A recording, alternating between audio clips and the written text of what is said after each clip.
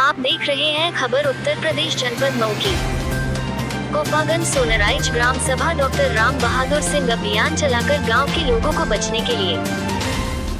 आने वाली बीमारी से बचने के लिए गाँव के लोगों को जागरूक करके गाँव के लोगों को गर्म पानी को छानकर पीने से कोरोना डेंगू। मलेरिया जैसे लोगों को बचाव किया जा सकता है और गाँव के लोगों को जागरूक करते हुए बारिश के महीने में। कहीं भी घर में गंदा पानी रुकने न पावे, हमेशा घर को साफ़ सफ़ाई का विशेष ध्यान देना चाहिए। साफ़ सफ़ाई से आने वाली बीमारी से लोगों को बचाव किया जा सकता है।